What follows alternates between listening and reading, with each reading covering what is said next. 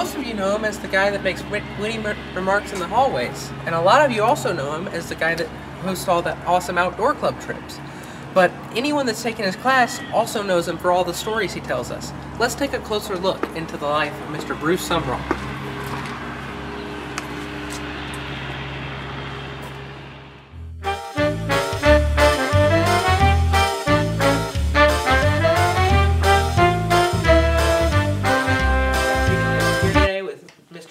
Sumrall, chemistry teacher at JA. How are you doing, Mr. Sumrall? Doing great. How are you? Pretty good. I got a couple of basic questions to get started off. Okay. How long have you been at JA? This is my second time around at JA. I was at JA from 1977 to 1982, five years as a junior high dean, and then as the high school dean, and then I came back to JA.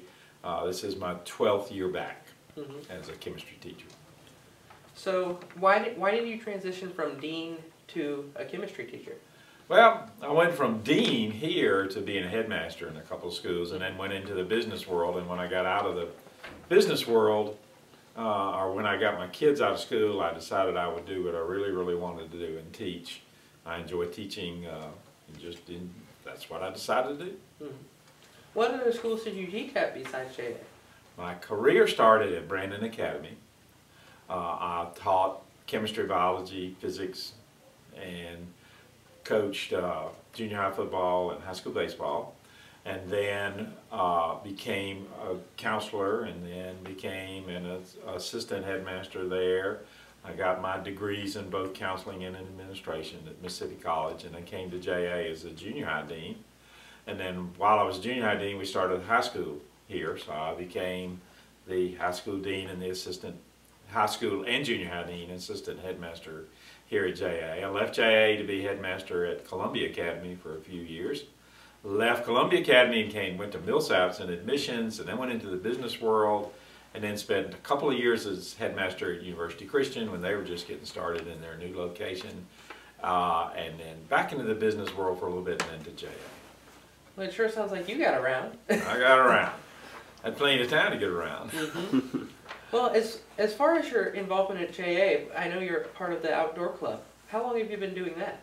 Um, when I first, when I, before I came to JA, before I came to JA, I did a lot of just outdoor type things when I was teaching biology. I would take people off and we would go to a lake or a pond and do that kind of stuff. But I really got involved in outdoor type activity, truthfully, when I came here because of Mr. Higgins. Mhm. I would help Mr. Higgins with his trips, and then we started doing things. And when the high school started here, then I started working with the high school people. Mr. Higgins continued to work with the junior high, and I started with high school people. And then as I went on to Columbia and other places, I, I, I went ahead and just started developing my outdoor club. And I actually did it as part of a business with churches and other schools for a number of years. And then we came back to JA, just got the outdoor club started here and still going. Well, so other than outdoor interests and chemistry, what else are you into? Well, outdoors and chemistry is pretty much, I do, not, I'm on my own, I'm a hiker, mm-hmm. I like to camp, I do a lot of kayaking, I kayak a whole lot, I write short stories, uh, you know, I guess that's standard, I like to read, but uh, I write short stories, I, I've gotten over the last about six or seven years, gotten pretty heavy into photography, just taking outdoor pictures mostly from my kayak, and then spending time with four granddaughters. That's it. Well, you're just a jack of all trades, aren't you? Well, not all of them. I don't sing. I don't dance. So, do you have any other plans for the future? Well, you know, I'm reaching the age where everybody's talking about who's retiring and who's not retiring, whatever. My plans are to not retire, Mhm. ever. Uh, uh, I just, I enjoy teaching. I enjoy what I'm doing, and I think if I did retire, I would miss it. So I'm just going to stay at JA as long as I'm healthy and uh, can still teach and continue to try and make people suffer through chemistry.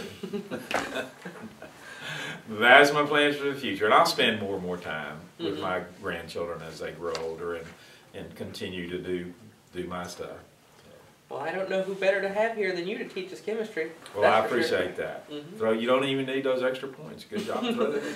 Yes, sir. Okay. Well, thanks for sitting down to me and answering a couple of questions. Glad to talk to you anytime. Yes, Thank sir. you.